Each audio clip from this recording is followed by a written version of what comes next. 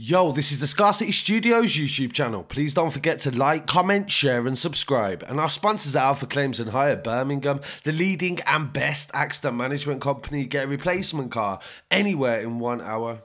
I really appreciate you joining me, and this is the first ever Street News episode from Scotland. I know we've got a lot of Scottish subscribers, and I appreciate all of you guys. And I, hope that you've enjoyed learning more about England and Ireland uh, and different areas. But now I want to show England and the rest of the world some stories from Scotland. So feel free to send me all your stories good, bad, and the ugly, everything in between. We have to thank Alistair Clark from the Edinburgh Live newspaper for allowing us to use the footage from the siege that went on in Kirkcaldy.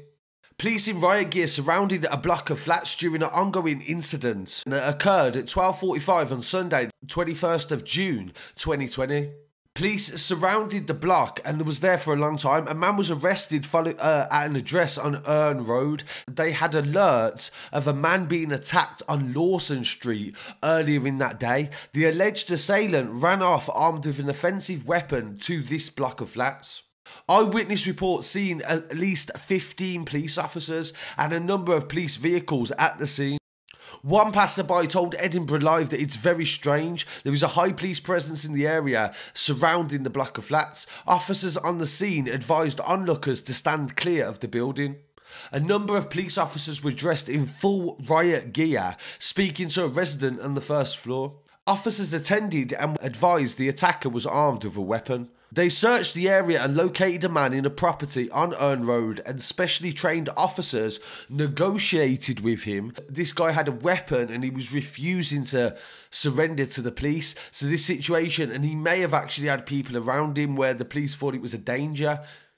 And Scottish police are under a lot of pressure. They do get a lot of violent attacks in Scotland. In this other story that I'm going to speak about in a moment, two police officers were attacked with a meat cleaver just a week ago on the on the 15th of June. I'll be referencing the newspaper, the Daily Record for this story. A man has actually been charged now, but we've got footage from the scene. It was filmed on a potato, but we actually do at least get a context of what happened. Police Scotland confirmed they now arrested a 25 year old man in relation to a serious assault on two police. The two officers were returning a 10 year old boy to an address in Greenfield Drive on Sunday when they was approached by a 25 year old man.